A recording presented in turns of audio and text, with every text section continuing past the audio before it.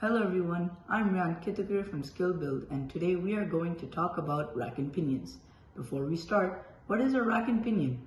A rack and pinion is a mechanism with a rack which has built-in teeth on one side and a pinion which is a gear. When these two work together, they create linear motion oriented either vertically or horizontally.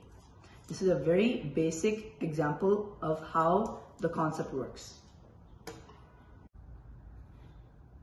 This is an example of a rack and pinion design where its rack is placed on top of a flat plate and it is supported by two red beams on the side. This design is an example of a rack and pinion where it is housed within a structure built up of six square frames. Both of these designs can be customized to your needs for the robot game. This rack and pinion is part of the EV3 expansion set. This is another example of a rack and pinion design, this time using a gear ratio.